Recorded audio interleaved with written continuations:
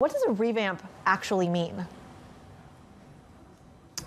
Well, as we understand it, what's going to happen is that it's going to combine its individual countries' retail and operation, retail and commercial banking operations, and then rearrange them into five units. And this is going to be digital, retail and commercial, payments, wealth management, insurance, and then corporate and investment banking. The idea is really to simplify the business and really drive prof profitability. So that's, that's the thinking behind what's, what's happening there. Well, it's really interesting that we're getting all of this banking news all at once because we had Citi talk about their revamp last week as well. Again, simplifying management, potential job cuts, a lot of the same language being used there. Are there any parallels right now that perhaps we're already seeing?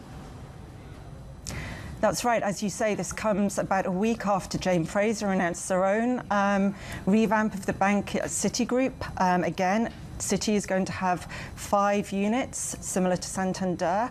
Uh, the idea with Citigroup is that she is really looking to drive up the stock price uh, that has been really in the dumps since since she joined uh, in 2021.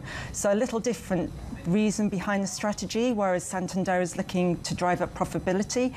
Sun, uh, Citigroup is really thinking of, of the shareholders. But again, this could lead to job cuts as the measures at Santander could also as well.